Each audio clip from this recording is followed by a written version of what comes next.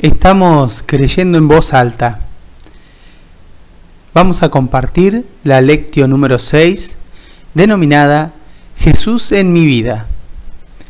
Leemos el Evangelio según San Juan, el capítulo 15, de los versículos 1 al 11, que nos dice, Yo soy la verdadera vid, permanezcan en mí, como yo permanezco en ustedes. Así como el sarmiento no puede dar fruto si no permanece en la vid, tampoco ustedes si no permanecen en mí. Yo soy la vid, ustedes los sarmientos. El que permanece en mí y yo en él, da mucho fruto, porque separados de mí nada pueden hacer. Si ustedes permanecen en mí y mis palabras permanecen en ustedes, pidan lo que quieran y lo obtendrán. La gloria de mi Padre consiste en que ustedes den fruto abundante y así sean mis discípulos. Como el Padre me amó, también yo los he amado a ustedes. Permanezcan en mi amor. Si cumplen mis mandamientos, permanecerán en mi amor, como yo cumplí los mandamientos de mi Padre y permanezco en su amor. Les he dicho esto para que mi gozo sea el de ustedes y ese gozo sea perfecto. Meditamos. Cristo tiene una importancia capital para nuestra vida cristiana en general, es decir, para nuestra conversión, perseverancia, constancia, crecimiento.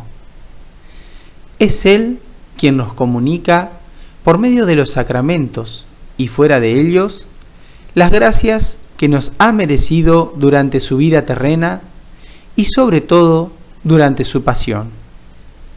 Recordemos a modo de ejemplo lo que Cristo hizo en aquellos corazones que quisieron seguirlo de cerca. San Pedro, Santa María Magdalena, San Pablo. Tomando solo el relato de la conversión del apóstol de los gentiles, nos sirve para ver la fuerza transformante del encuentro con Jesús.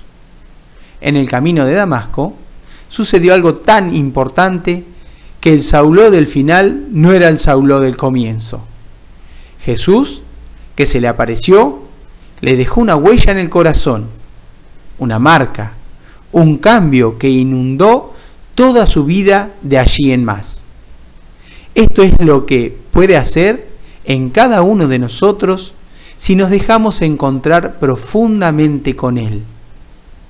Para esto habrá que vencer el miedo, la comodidad, nuestros apegos y dedicarle tiempo, dejarnos conquistar por Él, en la oración, en la lectura creyente del Evangelio para conocer su vida y en los demás medios que tenemos para estar con Jesús.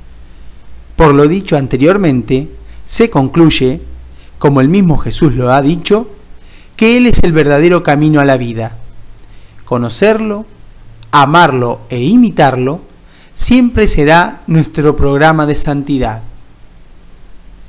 ¿Me encuentro con Jesús en la oración y en la lectura orante de la Sagrada Escritura? ¿Dejo que Él me vaya transformando mediante los sacramentos? ¿Voy con fe y devoción a la Santa Misa y a la adoración eucarística? Oramos. Pidámosle a la Virgen Santísima poder descubrir la importancia y necesidad que tenemos de Jesús y la gracia de agradecer siempre sus dones. Contemplamos.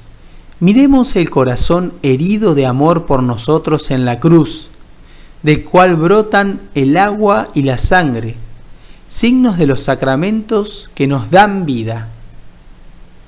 Actuamos. Sería muy importante hacer algún propósito permanente de encuentro con Jesús, como la misa dominical sin falta, un momento de oración diaria, la hora santa semanal, recibir con frecuencia, si se puede, los sacramentos.